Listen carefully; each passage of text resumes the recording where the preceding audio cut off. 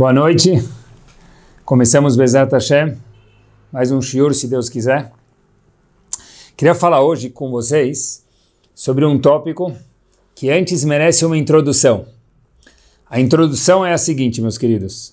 Se a gente for olhar, existe um dos codificadores das leis de todo o Talmud é o Rambam. O Rambam fez um trabalho diferente do Rav Yosef Karo, Rav Yosef Karo foi aquele que explicou, comentou e legislou sobre diversas leis, mas com uma peculiaridade, leis práticas. Rav Yosef Karo, quando escreveu Shulchan Aruch, escreveu inúmeras leis, todas elas são leis práticas de hoje em dia. O Rambam Maimonides, por sua vez, quando escreve leis, escreveu leis sobre todo o Talmud, sejam elas práticas ou não. Ou seja, por exemplo, leis referentes ao Bet HaMikdash, ao templo, o Shulchan Aruch não escreveu, porque por enquanto ainda não é prático. Leis referentes a Korbanot, sacrifícios, o Shulchan Aruch não escreveu, enquanto que o Rambam sim escreveu. E o Rambam tem no seu livro um grupo de alachot que fazem parte de algo chamado alachot deot que é muito interessante, até sobre isso o Rambam escreveu, são alachot comportamentais. Até para isso, Baruch Hashem, nós Yehudim temos alachot.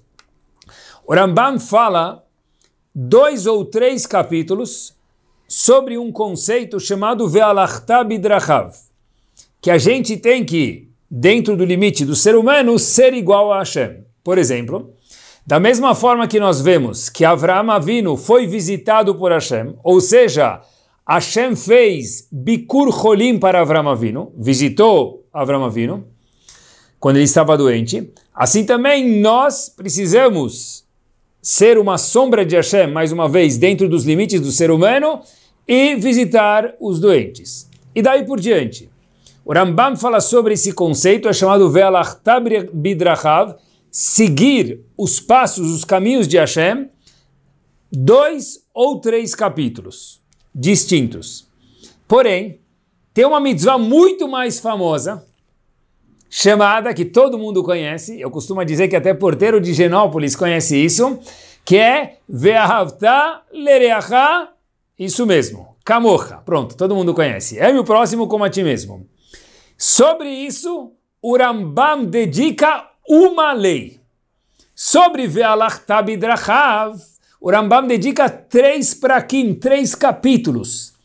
Sobre Alachá, que é o centro, é o coração da Torá Kedoshá, Ve meu próximo como a ti mesmo, o Rambam não dedica um capítulo, nem meio capítulo, ele dedica uma lei. E a pergunta que existe aqui é, pelo menos que fosse igual.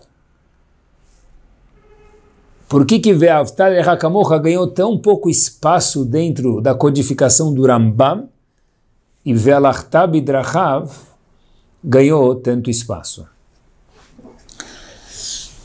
A resposta, meus queridos, é algo que é uma das bases, não só para esse shiur, certeza para esse shiur, mas como também para a vida da pessoa. Para muitas outras parashiot, muitos outros conceitos, algo magnífico. O seguinte: quanto mais íntegro a pessoa for, homem ou mulher, quanto mais shalem, em hebraico, shlemut, íntegro, completo, mais perfeito não, porque o homem nunca virá perfeito, mas mais perto da perfeição que nós chegarmos e ficarmos parecidos a Hashem, que é a mesma coisa que Velachtab Drachav, porque Alachtab Drachav é seguir o comportamento de Hashem visto na Torá. Igual que Hashem foi, teve compaixão com, por exemplo, Sdom, tenha compaixão com as pessoas. Igual que Hashem visitou Avram Avinu, visite as pessoas. Enquanto mais nós duplicarmos a atitude de Hashem que a gente aprendeu da Torá, mais shalem a pessoa fica, mais íntegra, mais completa, mais perfeita a pessoa fica e refinada. Agora olhem que espetacular. Uma pessoa que ela é refinada, ela sim pode cumprir a mitzvah de Ve'avta Lechakamocha. Porque olhem que bomba! Explicar Ve'avta Lechakamocha é simples. Ame o próximo como a ti mesmo. Cuide dele como a você mesmo. Agora, se cada um de nós subir um andar, dois, três, quatro, dez, vinte, e a gente entender melhor como a gente deve se comportar, cada um consigo mesmo, o que Hashem quer de mim, por conseguinte, eu vou poder tratar o outro muito melhor. Então, olhem que bomba! Óbvio que com razão, gastou dois, três capítulos. Por quê? Porque quanto mais eu for íntegro, mais completo, mais six stars eu for, melhor eu vou tratar os outros, porque eu vou entender o que Hashem quer de mim, e por conseguinte vou saber como tratar ele depois que é ver o próximo, como a ti mesmo. Agora eu sei como Hashem quer que eu me trate. E daqui a gente aprende que quando a gente melhora na vida, cada um consigo mesmo, tudo fica melhor inclusive o impacto que nós temos nos outros, e obviamente cada um consigo mesmo e com a Kadosh Baruch Sendo assim, vai aqui mais um exercício, mais uma academia, para que a gente possa dar um passo ainda, melhorar ainda um pouquinho mais, cada um de nós. Tem um dos personagens na Torá Kudoshá, que chama muito atenção para a gente, queridos. Um dos personagens que chama atenção para a gente, de uma forma gigante, estronda, no bom sentido, são dois irmãos, Yaakov e Esav, que todo mundo já ouviu falar. A gente tem que sempre lembrar que nós tivemos no nosso povo, nós temos, não tivemos, nós temos no nosso povo quatro avós, quatro imaot, três matriarcas e quatro avós. Ou seja, nós tivemos Avraham, Yitzhak e Yaakov, três patriarcas e quatro imaot, Sarah, Rivka, Rachel e Leah. Tem alguma coisa aqui estranha e alguma coisa chata, porque nós deveríamos ter quatro patriarcas e quatro matriarcas, não três patriarcas e quatro matriarcas. Quem fugiu da equação? Quem desapareceu? A resposta é o seguinte, simples. Dois irmãos, Avraham foi um. Pai, avô, Yitzhak, filho, e Yaakov, neto. Mas tinha mais um neto, Esav. Esav deveria ser o quarto dos patriarcas. Uhum, isso mesmo. Esav, que não entrou, deveria ser o quarto dos patriarcas. Ele, por qualquer razão que a gente vai ver hoje, aprender algo magnífico, para ficar mais top ainda, como a gente falou na introdução do Shur, Esav perdeu isso. E a pergunta, meus queridos colegas, é why? Se a gente deveria falar todos os dias na Midah, por exemplo, Elohei Avraham, Elohei Yitzhak, Elohei Yaakov, Elohei Esav. Perdeu para a eternidade nos quatro cantos do mundo a oportunidade de ser um dos pilares de Am Israel, um dos avós de Am Israel. A pergunta é por quê? O que, que não deu certo? Aonde que ele escorregou? Se a gente for dar uma olhada e a resposta, olhando para a Torá, para Sefer Bereshit, talvez seja óbvia, mas não tanto. Se a gente for olhar em Sefer Bereshit, a gente sabe que Esav era o primogênito e Yaakov veio, nasceu em seguida, apesar de ser gêmeo, nasceu depois. Ele tinha esse conceito de ser Bechor, primogênito, lhe dava algumas coisas a mais. Por exemplo, ele ia trabalhar no Betamigdash, ele ia ser o Cohen e daí por diante. Esav perdeu tudo isso? Não. Ele vendeu tudo isso. Por o quê? Nós sabemos por um prato de mjadra. Eu não sei se tinha iogurte ou não, mas por um prato de lentilhas. É isso mesmo, está escrito na Torá Kedoshá. Agora pergunta, isso está escrito. Agora a pergunta é por que Esav vendeu algo tão magnífico, tão eterno, tão top, de ser o príncipe dentro do Bet HaMikdash, no futuro, seus descendentes, por um prato de lentilhas. Olha, se a gente for olhar a causa disso, a gente encontra em Parashat Toledot o seguinte: Vai vez Esav et A Torá, quando conta da venda de Esav, da venda da do conceito de ser primogênito que Esav vendeu, a Torá fala para a gente que Esav envergonhou Vaives Esav etabechorá. Ele envergonhou o fato de ser primogênito ao vender esse privilégio para seu irmão Yaakov com um prato de lentilhas. O que está escrito na Torá? Olhem só. Vai avó Esav minasadev Aiv. Esav chega do campo muito cansado. Aí ele vê Yaakov com um prato de lentilhas. Ele fala para ele, Habibi, me dá esse prato de lentilhas, por quê? Atenção agora, que Ayef Anohi, que eu, Esav, estou muito cansado. Aí Yaakov fala para ele, ok, eu posso te dar, né? Eu posso te vender. Daí nasceu o business dentro do povo Yudi. falou, olha, eu posso te vender. Aí ele falou, tá bom, o que, que você quer de mim? Disse falei, sabe, eu quero o, o privilégio de ser um Bechor primogênito. Esaú falou, deal, tá feito. Me dá o prato de lentilhas e eu te vendo o privilégio de ser um Bechor primogênito. Ok. Agora, pessoal, preste atenção que a Torá conta pra gente. Quando ele vendeu esse privilégio para o seu irmão Yaakov, Esaú vendeu esse privilégio de ser o Bechor no seguinte momento. Já li para vocês, mas agora quero que prestem atenção. Vai avó Esav minasade. Esav chegou do campo, veio o Ayef, ele estava muito cansado. Ele falou, olha, me dá o prato de lentilhas. E ele vendeu. Como assim, cansado? Muita gente estava cansado na Torá. Muita gente. A gente chega às vezes cansado do trabalho também, todos nós, ou do nosso dia a dia, cada um que faz. Por exemplo, tenta imaginar um marido que chega cansado do trabalho, com muita fome. Olha, nem almocei hoje. Ele fala que não almoçou, talvez é verdade, talvez não é, mas tudo bem. Vamos dizer que de fato não foi verdade. Hoje ele não almoçou e está morrendo de fome, como a gente fala no português, claro. Aí, se a esposa falar para ele: Olha, Habibi, então você me dá o seu carro novo que você comprou a semana passada, aí eu te dou um hambúrguer? Muito melhor que um prato de lentilhas. Óbvio que o marido vai falar o quê? De jeito nenhum. eu não vou trocar agora a minha fome, eu não vou agora satisfazer minha fome com hambúrguer vendendo o meu carro 0km que eu comprei a semana passada ou ano passado? Óbvio que não. Então a pergunta é, como que Esav chegou cansado do campo? Ele fala, olha, eu estou cansado, Habibi. O que você tem aí na frente? Um prato de lentilhas. Eu te vendo o mérito de ser o primogênito e trabalhar no futuro no Betamigdash e outros privilégios futuros. Como assim? Como assim? E por que que o Passuk conta para gente que naquele momento Esav estava cansado. Óbvio, se ele foi trabalhar, todo mundo que vai trabalhar volta cansado. Pelo menos todo mundo, é difícil falar, mas a grande maioria das pessoas volta cansado. Se a gente olhar, por exemplo, algumas parashiot antes de Yaakov Esav, apareceu Avram Avinu. Avram Avinu estava doente, no terceiro dia do Brit Milá, todo mundo conhece isso.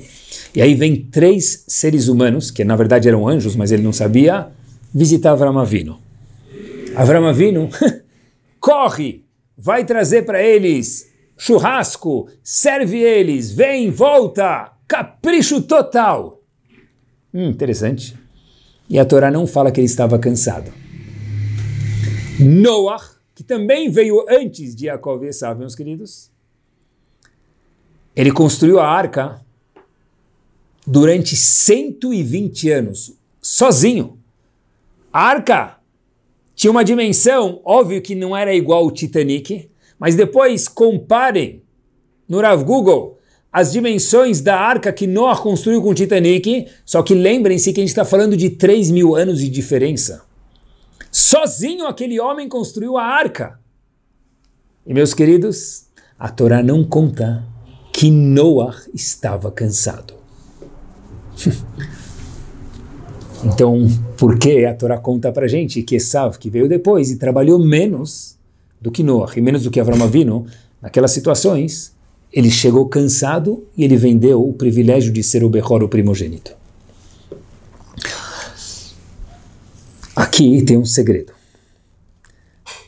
Rahamim contam para gente no, na Gemara que no mesmo dia que Esav vendeu por um prato de lentilhas, o conceito de ser o primogênito, ele fez cinco averot muito graves. Sim, conta pra gente Agmará. Ele seduziu uma noiva, fisicamente, ele matou uma pessoa, ele negou um dos princípios básicos da fé judaica, que é o conceito de Tchiat Ametim, de ressurreição dos mortos. Ele vendeu a primogenitura e daí por diante. Espera aí. A Torá não conta nada disso para a gente, a Gemara que conta. A Torá conta para a gente que ele vendeu a primogenitura, mas a Torá não conta para a gente que ele matou alguém, que ele negou Tchiat Ametim, que ele seduziu uma mulher noiva. Por que, que a Torá não conta isso para gente? Por que a Gemara precisa decifrar algo que a Torá escondeu? Porque a Torá não é explícita, é algo importante para a gente saber. A resposta é o seguinte: a Torá nos conta, e olhem que bárbaro, para a Torá inteira, esse princípio vale a causa e não a consequência. A consequência, sim, a Gemara conta para a gente, que ele fez X, Y e Z, cinco coisas gravíssimas. Negou Tchatametim, seduziu uma mulher, fez pecados capitais, matou alguém. Por que tudo isso? Diz a Torá para a gente, porque olhar para a consequência, quando se trata a consequência, não se resolve o problema. Porque a causa continua e vai produzindo mais sentimentos ou ações erradas. Quando nós tratamos a causa, a gente erradica por completo o ruim e vira 100% bom. Então olhem que power, meus queridos. A Torá fala para a gente, Yaakov chegou do, Esav, melhor dizendo, chegou do campo cansado. O que, que ele fez?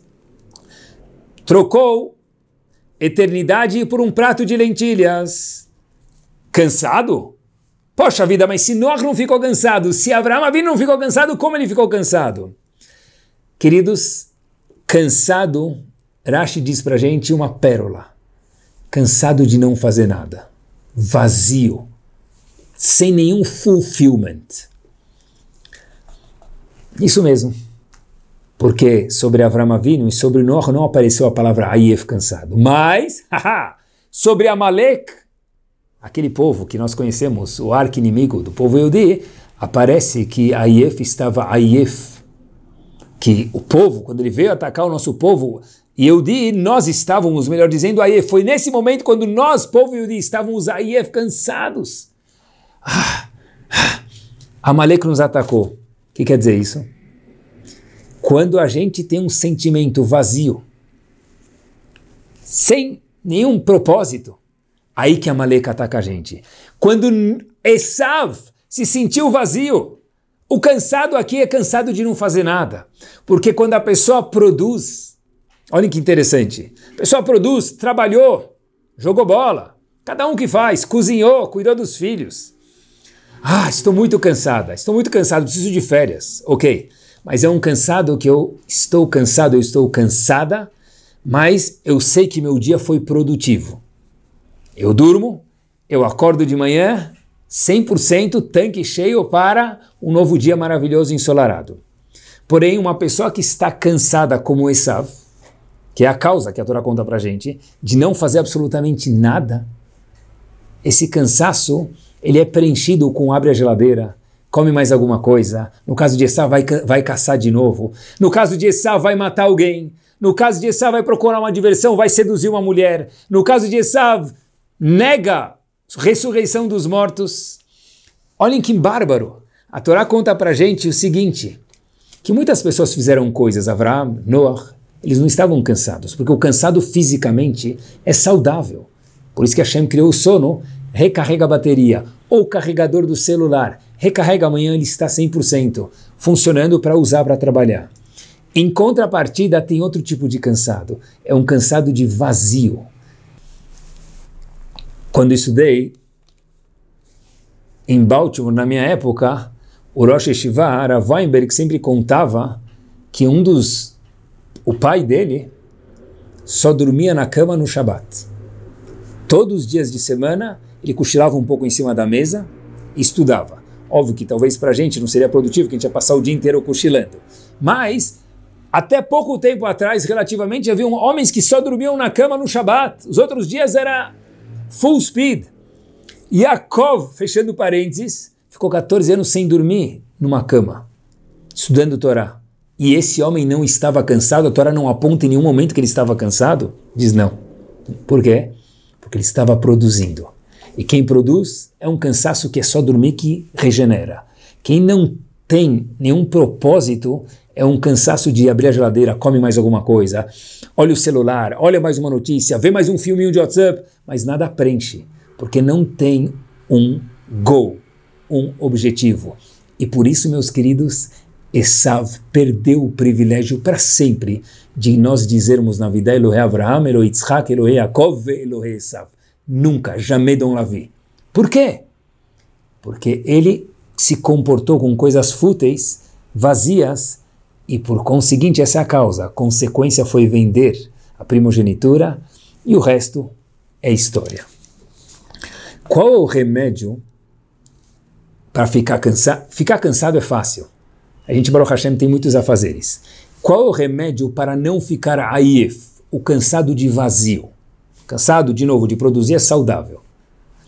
Qual é o remédio, meus queridos, para a pessoa não ficar ayef? Ayef, mais uma vez na Torá, é um cansaço de vazio, de não produzir. É estar em progresso. Mas tem algo a mais do que estar em progresso. É porque é o seguinte, às vezes, depois de um período de progresso, progresso, a pessoa sente um vazio. É o que a gente chama muitas vezes no aquele vazio da meia-idade ou qualquer outro nome que a psicologia dê a isso. A pessoa trabalhou, trabalhou, cresceu, em um certo momento ele tem um vazio, mesmo que Baruch Hashem ele talvez adquiriu economicamente um valor interessante na conta dele, guardado e pode usar com saúde.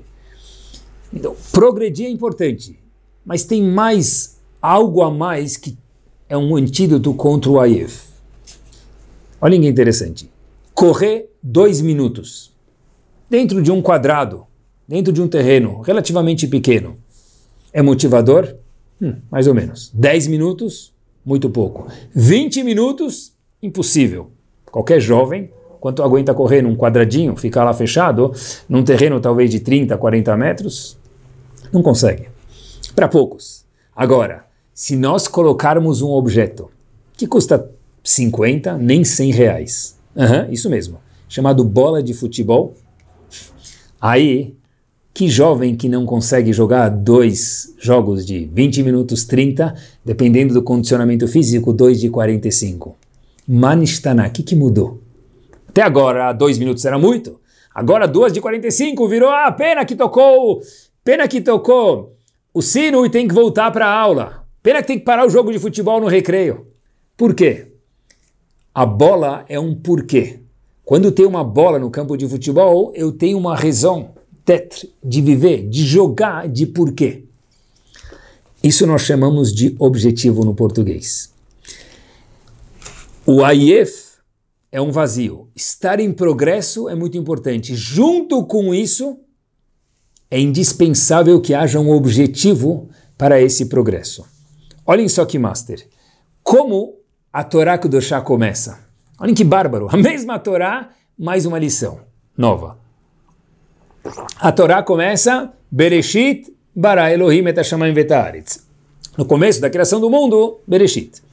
Diz Rashi, logo no começo, o que quer dizer Bereshit? Diz Rashi, opa, Bereshit, Rashi pula da cadeira e diz, ó, Bereshit é Bishvil, por tal objetivo pelo povo Yehudi, ou daí por diante, Rashi traz algumas explicações.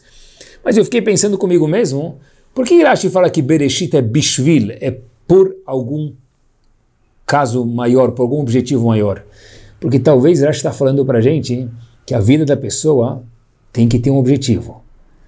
E, não menos importante, o, a criação inteira do mundo tem que ter um objetivo, senão, para que viver? Por isso que na primeira palavra do Sefer Torah, Bereshit, why, lama, pourquoi, oh, pourquoi, Bereshit, Rashi diz, tem alguns objetivos lá que a Kodosh Baruch colocou na criação do mundo, vide Rashi. Mas o mais importante hoje é falar que tem que ter algum objetivo, não fazer por fazer. Se não tem bola, não tem jogo. Se não tem Bereshit, Bishvil, por algum fim maior, não tem razão de correr 45 minutos e nem 120 anos com saúde. E nós temos o privilégio, com babador, com um sorriso, de para tudo termos um gol, um objetivo, um propósito. Isso mesmo, tudo mesmo. Eu explico. Abre o Shulchan Aruch, quando acorda, faz Netilat Yadayim. Quando se veste, coloca primeiro o calçado direito, depois o esquerdo. Quando for amarrar, amarra o esquerdo, depois o direito. Saiu do hammam, saiu do banheiro, faz a sheriatzar. Depois faz tefilá. Oh, vai tomar café da manhã? Um minutinho, faz brachá. O dia inteiro do Yehudi tem regras, não é regras. São regras, óbvio, mas são regras que dão um propósito para os 120 anos, manhã, tarde, noite e madrugada de cada um de nós. Transformando, queridos, escutem isso, o nosso dia não em um dia, em uma eternidade. Porque o dia de um animal, ele é um dia. O dia, infelizmente, de alguém que ainda não teve o mérito de conhecer as mitzvot, ele é um dia. O dia de alguém que tem o privilégio, a honra, o mérito de conhecer as mitzvot, e fazer elas é uma eternidade, porque aquele dia fica carimbado, marcado, não para muito tempo, para sempre. Uma vez, Rav Chaim Shmulevitz, que foi Rosh Yeshiva de, de venerada Yeshiva de Mir, uma vez não, muitas vezes, durante anos e décadas, ele dava um shiur nos minutos finais de Yom Kippur. Nos últimos anos da vida dele, estava muito, muito frágil de saúde. Sempre antes de Neilá, ele falava algumas palavras. Nos últimos anos, no último ano da vida dele, quando estava muito frágil, aquele ano que ele ainda foi para Yeshiva, ele começou a andar passo por passo em direção ao púlpito, para dar o shiur dele antes de Neilá, jejuando, de idade, saúde frágil. Ele nem conseguiu, aquele ano, chegar atrás do púlpito para ficar frente, virado às pessoas. Ele chegou do lado do púlpito e não conseguiu subir a escada para ficar na frente do púlpito virado para o público. Ele se vira para o público, da parte de baixo mesmo, ao lado do, do púlpito, olha para Estivá e o grande Rav Chaim Shmulevitz diz três, quatro palavras e esse foi o seu shiur antes de Neilá. Ele disse o seguinte, em Yiddish, mas eu traduzo para vocês. É isso que acontece com um homem. E ele olha para o público, bate três vezes no púlpito de novo e ele repete: Olhem o que acontece com um homem. E ele volta ao seu lugar e a reza de Neilá continua. Olhe o que acontece com um homem, quis dizer Rav Chaim Shmulevitz, olha o que aconteceu com um homem, um homem forte, vigoroso, que ia, voltava, dava shiurim, cuidava de atividades de Yeshiva. Agora eu mal consigo andar. É triste. Não era essa mensagem que ele estava dando para o povo, para Yeshiva. Não. Olha o que acontece com o homem. Lembrem que tudo na vida tem um começo, tem um meio, tem um fim e tem um objetivo. Essa é a mensagem, olha que mensagem poderosa. Olhar para a vida sabendo que tudo tem um começo, meio e fim, tudo na vida aqui na Terra, isso não é ruim se nós temos um propósito. No momento que a pessoa tem um propósito, a vida dele não termina, ele, ele é eterno. No momento que a pessoa come, bebe e dorme, mesmo que seja kasher, mas a vida dele é comer, beber, dormir, ver um WhatsApp, ganhar dinheiro. E sem propósito, a pessoa tem aquela crise da meia-idade, ou da terceira idade, ou da segunda idade, ou da quarta idade, da idade que for. Ayef é viver sem propósito. Estar cansado é magnífico. Fato é que a gente paga para ficar cansado. Uhum. Querem ver? A pessoa paga academia, o personal trainer, para chegar cansado em casa, suado. Maravilhoso fazer ginástica. Eu que o digo, adoro. Por quê? Porque cansado não é ruim. Porque enquanto a gente produz e tem objetivo é maravilhoso. O problema de Esav não foi cansaço, foi vazio. A If natural é vazio. Quando nós temos objetivo de vida, é maravilhoso. Uma pessoa que vive lehaye sushi, lehaye pizza, lehaye Miami. É bom comer pizza, maravilhoso. Sushi, espetacular. Miami, maravilhoso. Mas não viva para isso. Faça isso parte da sua vida, curta a vida, mas tem, temos que ter um propósito maior. E aí, quando tudo começa a funcionar mais devagar, se tudo é sushi, pizza, prazeres, Aí na velhice a pessoa se questiona o que, que sobrou de mim. eu já não tenho mais tanto gosto pelas coisas, já não consigo correr quanto corria, fazer musculação quanto fazia, me canso mais. Mas isso não é a pessoa. A pessoa é um propósito que ele construiu, independente da idade dele, o propósito está lá e cada vez mais vive, cada vez maior, porque já tem mais tijolinhos naquele propósito quanto mais tempo passa. Não é à toa que, assim que a mídia traz para gente, que atores de Hollywood têm um índice muito maior de vazio, de sentir de alguma forma ruim, um sentimento ruim cada um consigo mesmo, quando envelhecem. Por quê? Porque a vida é prazeres, a vida é cassino, a vida é carros, a vida é. E agora que eu estou mais velho, eu já não consigo mais ter tanto benefício desses prazeres. Meu corpo já não funciona tão bem quanto antes. Qual que é o propósito da minha vida? Hum, abadanshi, nothing, zero. Ou muito pouco.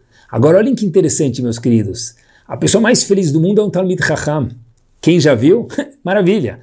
Ele senta com seus netos, bisnetos, estuda, ele é o homem mais feliz do mundo. Olha, quem já viu um Gdolim na sua idade um pouco mais avançada, vê como são pessoas felizes, sorridentes. É um momento espetacular de tranquilidade que eles têm. Eu lembro, quando estava na Yeshiva, no Kolel, melhor dizendo, na Yeshiva, mas estudando no Kolel, sempre no inverno, estudei alguns anos em Miami, na Yeshiva, sempre no inverno, que o inverno em Miami é muito, o inverno em Nova York é muito, muito, muito frio. Tem muitos senhores de idade passar o inverno em Miami, normal, imigração grande. Eu lembro de dois senhores que vinham ano após ano passar alguns meses em Miami, já estavam retired, aposentados. O que, que eles faziam? Rezavam no Yeshiva, e das nove a uma, nove da manhã a uma e meia da tarde, eles sentavam a estudar Havruta, entravam no Shur, igual dois Bahurim, dois alunos de Yeshiva. Dois senhores de idade com suspensório, estacionavam aquele carro de senhores Lincoln, eu lembro até hoje, na frente de Yeshiva, subiam e os dois pareciam dois alunos de 10, 20 anos de idade, jovens, estudando, debatendo, perguntando, desciam no shur com a gente, no shur dos Abrechim, no Kolel. Era magnífico. Quando a pessoa tem um propósito, o tempo passa, ele fica cada vez mais feliz. Quando o propósito são só prazeres materiais, o tempo passa e os prazeres talvez tem menos desfruto com o corpo, então a pessoa fica com vazio. Isso é Aif. Por isso que Esav até hoje desapareceu do mapa. Diferente de Avraham e Yitzhak que tinham obviamente um propósito. Quando a gente tem um propósito na vida, tudo fica gostoso. Querem ver? Vi uma vez uma história verídica que um grupo foi fazer turismo na Austrália, volta da Austrália para Nova York, para casa, e, obviamente, quando vai passear, muitos já fizemos isso, a gente vai para os Estados Unidos, algum lugar, e compra um bilhete da loteria. No caso, o pai da família comprou um bilhete lá na Austrália, voltou para casa, Nova York, depois de um tempo ele foi verificar se ele ganhou ou não, só para descargo da consciência, porque a gente já sabe que a probabilidade é muito pequena, mas naquele caso ele tinha ganho. Só que ele verificou bastante tempo depois da viagem e o prêmio tem um tempo de duração. Depois do tempo, o cartão da Mega Sena lá da Austrália deixa de ser válido. Aquele homem foi para o aeroporto, deixou tudo de lado, porque era um prêmio grande. Foi para o aeroporto, meus queridos, e prestem atenção. O voo para a Austrália, de Nova York para a Austrália, são 24 horas e 48 minutos. Longo. 24 horas e 48 minutos. Foi lá, falou, por favor, eu quero comprar uma poltrona de primeira classe.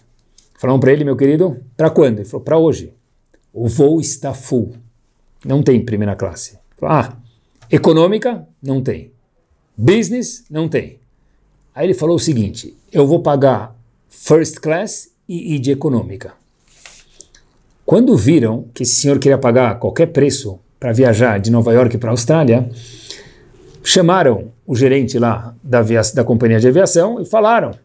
Ele falou: de fato, olhou de novo, a gente queria muito te atender, mas não tem.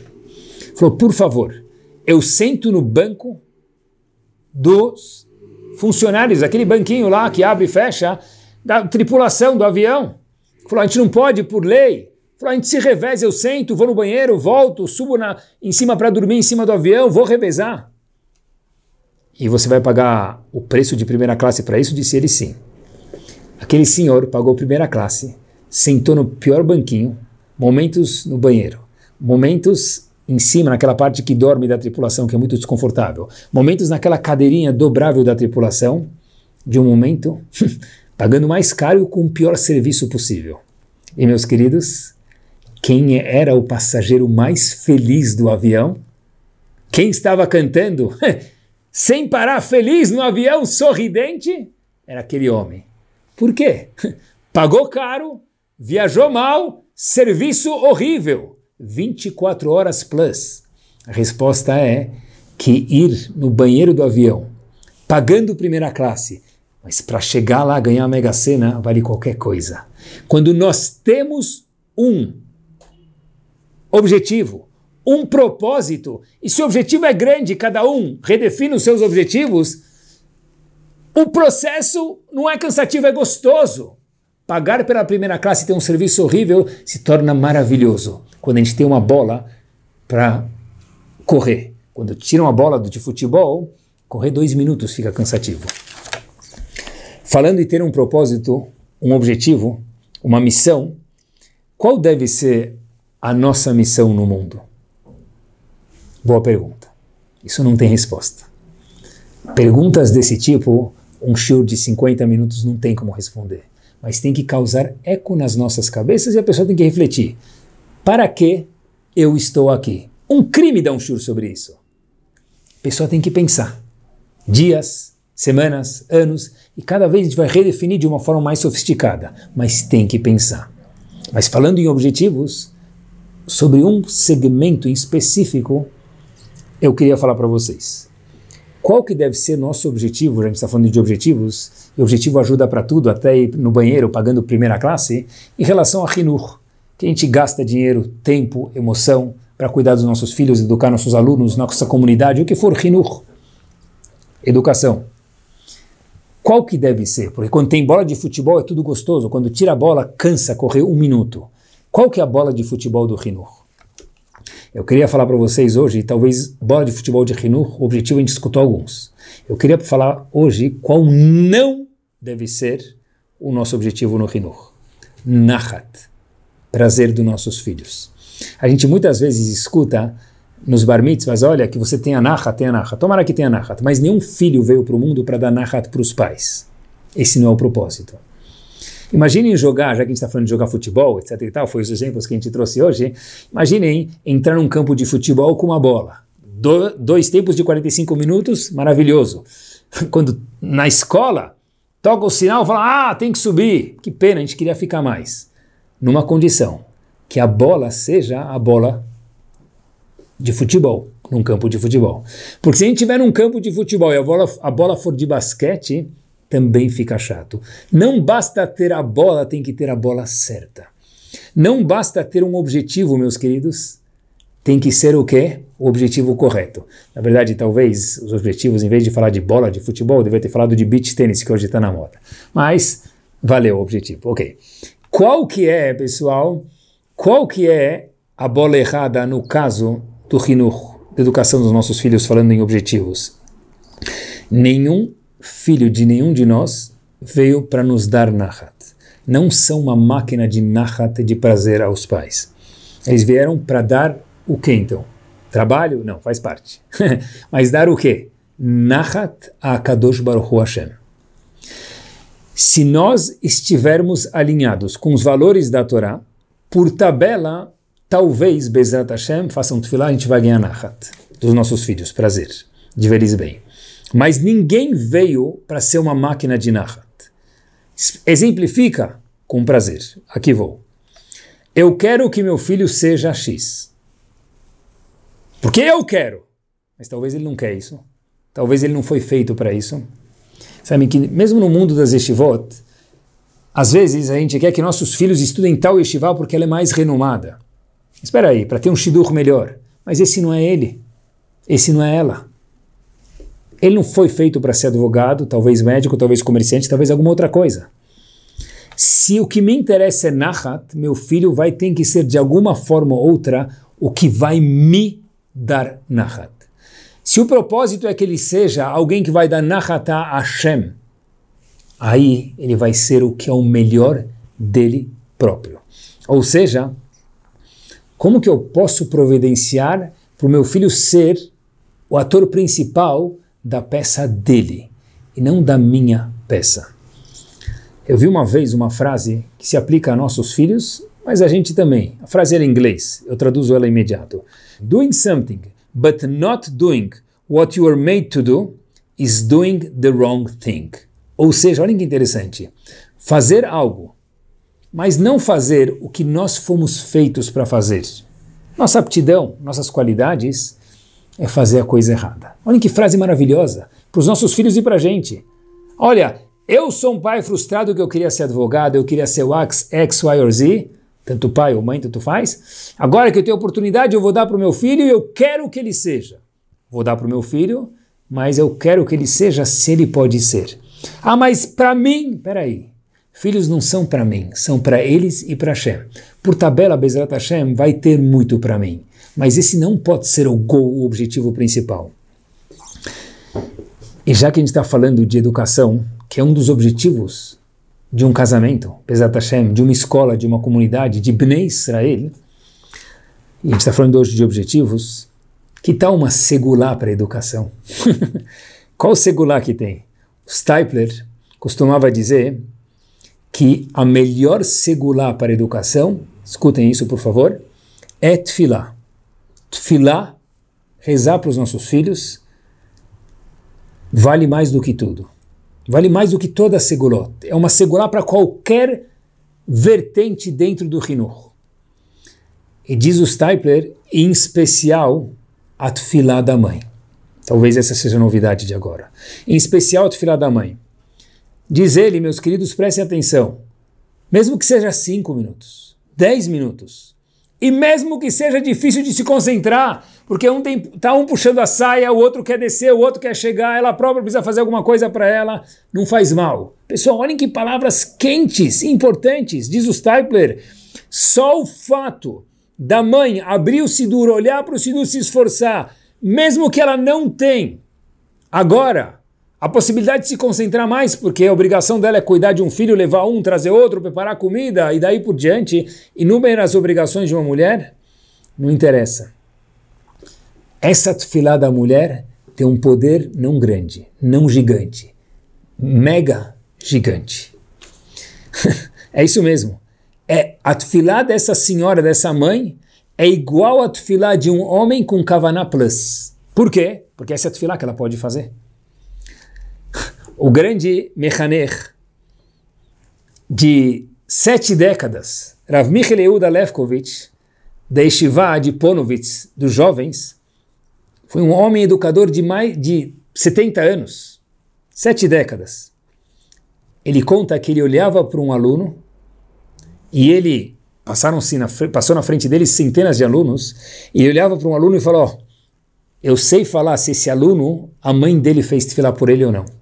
Ele olhava para um aluno e falava: olha, esse aluno eu sei que a mãe fez filar por ele, esse aluno eu sei que a mãe não fez filar por ele. Isso mesmo. Como ele sabia? pela Seata de Ishmael, pela ajuda que o aluno tinha, pelo ren, pela simpatia que o aluno tinha, tinha e outros pormenores. Por quê? Porque a tefilá da mãe, em especial, do pai também é importante, mas da mãe em especial tem um impacto gigante, mesmo estando ocupada. Sabem que depois que Rabanit Kanievski faleceu, uma das suas filhas, entre aspas, com respeito, tomou o lugar dela ela recebe as visitas que a mãe recebia, chamada Rabanit Kolodetsky. Ela disse que o pai dela, Rav Chaim Kanievski, Shlita, falou o seguinte, muitas vezes a mãe quer fazer tefilá e ela fala, olha, eu vou fazer tefilá de roupão, tem que se trocar antes. Diz, disse o pai dela, e ela fala algumas vezes isso, que o quê? Que o roupão da mãe é igual à roupa do Kohen Gadol. Isso mesmo o roupão que a mãe está lá cuidando dos filhos, tal, ainda não conseguiu se trocar de manhã, ela quer fazer filar alguma parte de shacharit, é igual a roupa do Kohen Gadol. Ou seja, o objetivo, um dos objetivos de qualquer casal são os filhos. Hinur é um objetivo. O objetivo de Hinur não é nos dar nachat, é dar nachat a ele, maiúsculo, e de tabela Bezat Hashem que a gente ganha em Nahat. Mas para isso fluir melhor, ser turbinado com mais brachá ainda, maior segulá do mundo é tefilá, especialmente a da mãe, mesmo com menos concentração, mesmo menos tempo, como mencionamos aqui. E meus queridos, com isso a gente termina. Antes de cada brachá, antes de cada brachá, meus queridos, a gente fala o seguinte: Asher Kideshanu de uma mitzvah. Antes de cada mitzvah, melhor dizendo, nós dizemos Asher Kideshanu bemitzvotav vetzivanu, que Hashem nos santificou com as mitzvot e a gente vai acender as velas de Shabbat ou colocar tefilin, homens e mulheres, cada um com sua mitzvah. Pessoal, antes de cada mitzvah, a gente fala Asher Kideshanu bemitzvotav vetzivanu. Olhem o que a gente está indo fazer, meus queridos. A gente está indo fazer o quê? A gente está indo ser santificado com as mitzvot. Asher kideshanu bemitzvotav vetzivanu. Cada mitzvah nos santifica. Cada mitzvah nos traz eternidade. Cada mitzvah é o nosso objetivo. Porque cada mitzvah que a gente faz não é fazer uma mitzvah. O fato é que a gente faz a antes. Asher kideshanu bemitzvotav. Hashem, você me santificou com suas mitzvot e me ordenou a fazer mitzvah X, Y e Z. Cada mitzvah é uma eternidade. Que presente é ter 613 mitzvot. Não devia ser 613 mitzvot. Devia ser 613 presentes de eternidade. O homem, a mulher, a gente se transforma eterno. Pessoal, a gente tem o maior purpose do mundo de vida. A gente não precisa nem procurar. A Shem ajudou a gente a alinhar qual deve ser nosso propósito. Isso traz vontade de crescer, sonho de almejar crescimento, coisas maiores. Isso dá vontade de viver.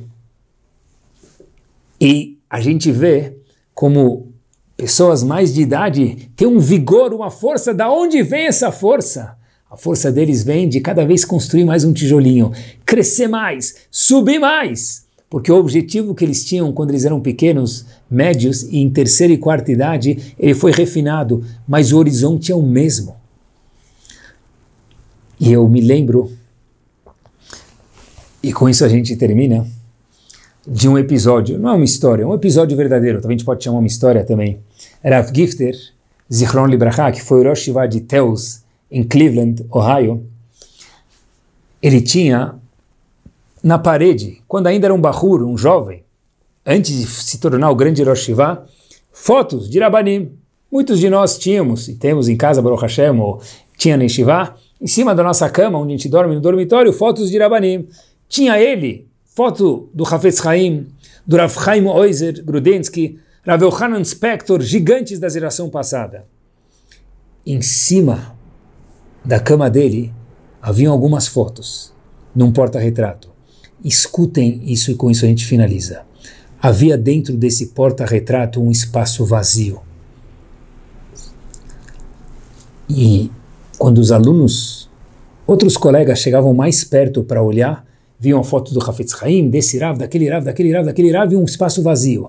E se aproximavam mais daquele porta-retrato na parede, estavam escrito, escrito, estava escrito três palavras. Why not you? Por que você não? Por que você não pode ser mais um que vai preencher esse porta-retrato? E hoje, Rav, Chaim, Rav Gifter faz parte do porta-retrato de muitas casas nos Estados Unidos e em outros lugares do mundo. Porque era um homem que tinha um propósito e era um homem que se questionava: Why not you? Why not me? Eu posso estar lá em cima. Meus queridos, está escrito por Chachamim, que explicam a Torá, tem um pasuk na Torá que diz Banim loemun bam. Que quer dizer Banim loemun bam? Normalmente a gente entende que os filhos de Hashem, é uma profecia para o futuro, não, não acreditaram em Hashem. Talvez seja essa a explicação, mas eu vi uma explicação bárbara para fechar o show de hoje. Banim, os filhos de Hashem. Na nossa geração, século 21, lo emun bam não acreditaram em quem? Bam, neles próprios, no potencial que nós temos. Porque se nós tivermos um gol, um objetivo, um propósito, e cada vez refinar mais nosso propósito, um propósito master na vida, quem tira a gente daqui? Ninguém. foi o que Rav Gifter falou, why not you? E de fato, ele depois subiu para aquele pôster com fotos, ele virou um dos Gdolim, dos gigantes, que perfez aquele quadrado vazio. Acreditar no nosso potencial, ter um objetivo e crescer cada vez mais, de forma mais vigorosa, e a, forma, e a vida fica cada vez mais gostosa, independente de quantos anos nós temos. Arihut Yamim, 120 anos de crescimento para cada um de nós, noite espetacular e semana maravilhosa.